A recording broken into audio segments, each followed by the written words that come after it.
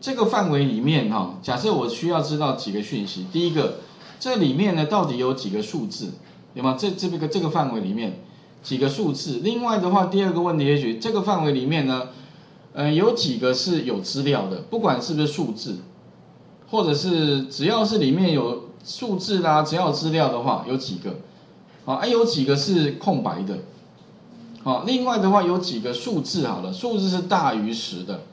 哦，那诸如此类的哈，这相关的问题呢，其实你都可以利用哈，这边有一个叫插入函数啦，你可以从那个统计类里面的叫 count，C 开头 count count 里面的话呢哈，就会有有答案了。其实刚刚讲的那四个问题哈，就是基本上就是 count 有没有？计算那个范围里面呢，它的那个什么包含数字，哎，前提是数字，这出现个数目，它会告诉你，帮你算完。抗成 A 的话呢是，不管是不是那个数字啦，反正里面有资料的就就是抗成 A，它帮你算。抗成 blank 刚好就是什么，里面是空的，好。抗成 if 就是条件，它跟那个 sum if 还蛮像的，差别是 sum if 是把那个呃数量加总，那抗成 if 是计算有几个，它是算笔数的，好啊 sum if 是加总的，两者差别在这里。那怎么做？我们来看。如果要算数字的话，你可以给它一个范围。当然，它这个也支援多范围了。第一个、第二个、第三个，很多的范围。按确定返还就是五十三，意思说这个范围里面有五十三个是数字。好，第二个是有资料的有几个？那你可以一样哈，在这边的话，统计里面的话，你可以用什么？count A。这个范围里面呢，只要有资料的有几个？哦，五十九个。哎，多。哦，总共六个啊，基本上就是这个什么待定啦、true 啦、true 这些，true false 就是 boolean 了哈，然后这个就数字。那另外的话有几个空白的，那你一样可以统计里面的话是 count blank，blank 里面的话哈，其实就计算什么，里面是空的嘛，顾名思义七个，所以总 total 的话有六十六个，啊，这两个加起来，那有几个是大于十的，那我们可以用什么 count if，那这个 count if 哈。其实你会发现哦，它的那个跟 sum if 还蛮像的，只差别最下面有个 sum range 啦，它不是 sum range，它是什么？它是大于大于十好了，OK。假如这样子，三十二个，OK，好，那这范围里面呢是数字，而且是大于十的有三十二个，好，那所以呢，为什么要先了解这几个函数啊？因为呢，后面我们有两题，其实都会用到它。那第一题的话，请各位哈在那个范例档里面找到数学函数里面的黑名单筛选。哦，那黑名单筛选其实顾名思义啦，就是有一位同学哈，他每天要做的事情就是怎么样，就是去这个黑名单里面，黑名单总共有多少个？其实他好像至少几十万个了，不过他这边只只只给我部分到两万多个而已。然后呢，前面是查询名单，意思就是说呢，这一个 email 信箱是不是黑名单？如果是的话呢，那就告诉我，哦，有没有查询？那它里面总共要查多少个？其实我这边是到一千啦，其实里面还有，他每天呢就是要不断的去黑名单里面查出来是不是黑名单，是的话呢，哎，那就记录下来；不是的话呢，哎，那就不用记录了。它主要是抓黑名单。那你想说这个黑名单要怎么比对呢？哦啊，当然，这个以前的做法他是说，他把这个怎么样，Ctrl C，然后怎么样，到这边黑名单 Ctrl F，Ctrl F 是什么呢？就寻找有没有，寻找全部，哎，找到了，表示是黑名单，然后他就把这个黑名单呢给留下来，Ctrl C，结果复制到这边。好，OK，所以你会发现哦，他做这件事情大概做到下班哈还做不完，所以他想说老师有没有更快的方法？有，而且非常简单。如果你会用康义夫，大概不到一分钟，你的问题就解决了。做一次给各位看哦。一查什么？查黑名单，所以在这边 B 栏 B 二的地方插入刚刚用过的康义夫。Range 指的要查什么？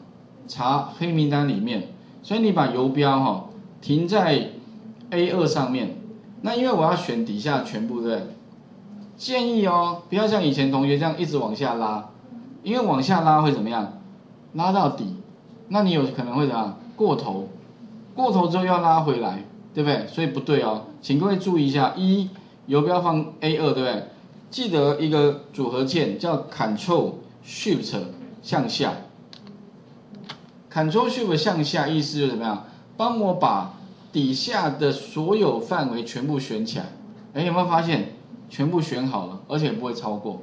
好，记得哦，Ctrl Shift 向下，选选 A 二就可以了哈。那 Criteria 是找什么？找这个 email 信箱。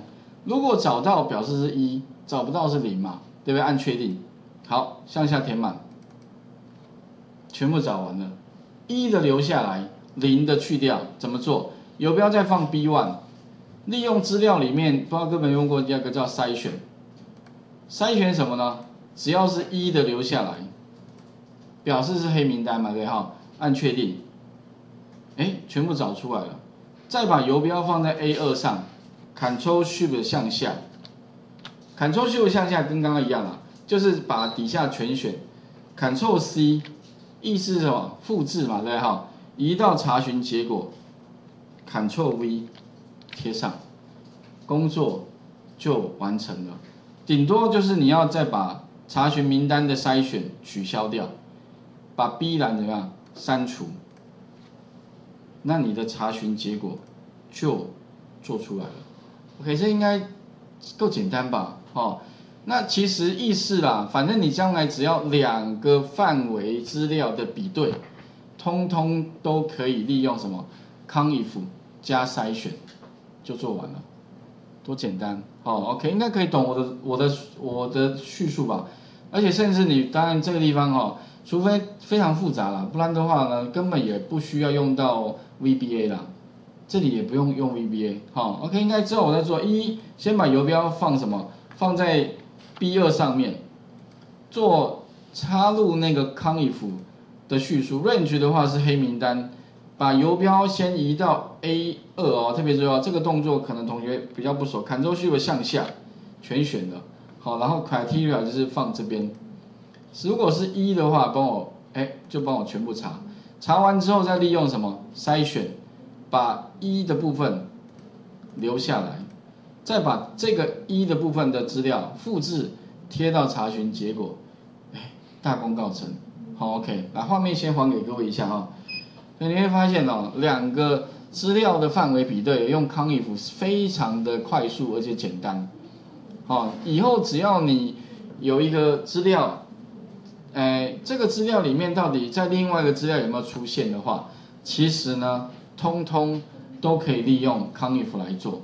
而且康衣服很多地方都还蛮好用的，不只是在这里哦哈，像我们后面还会有一个叫乐透彩，所以如果你有买那个，你你有在偶尔会买一些那种哈号号码的威力彩等等的，其实都可以利用呃康衣服来做什么统计，哪一个号码出现的几率是最高，或者是哪一个号码在某一个。时间点出现的几率最高，那你可以针对这些号码，哎，也许你可以怎么样，去，反正算一下啦，这也不保证，但至少相对的几率可能会高一些些，也说不一定。好，那要怎么做？下个礼拜可能会讲一下康益府的应用在统计上面，尤其像统计那个乐透彩啊，或者威力彩、大乐透之类的。第一个，第二个可能会延伸讲一下。网络上如果有大量的开放资料，哦，那这些历史资料都在网络上。如果我希望一键哈，把网络上所有的资料怎么样，通通都抓到 Excel 里面的话，该怎么做？好啊，不过难度会有一点点，但是不会不会很困难。它可以啊，按下去哦，所有网络上，啊，总共大概几万笔的资料吧，迅速飘一下在 Excel 里面，你就会看到。那你有资料之后呢？后面就是再来就做统计分析，得到一个结果啊，就是可以去做后续的应用了。所以很多时候啦，其实大数据分析主要解决什么？就是你要决策嘛，决定到底我应该怎么做一个决定决策，往个方向走。那如果说你能够快速的得到一个结果的话，哇，你的决策我想应该相对的比较不容易出错。那相对的哈，你的各个可能我觉得也至少会比较哈，做决定之后也比较不容易哈，有有什么不比较错误的那个哈结果了。OK，那所以这里的话，请各位试着把那个乐黑名单筛选部分先试做看看。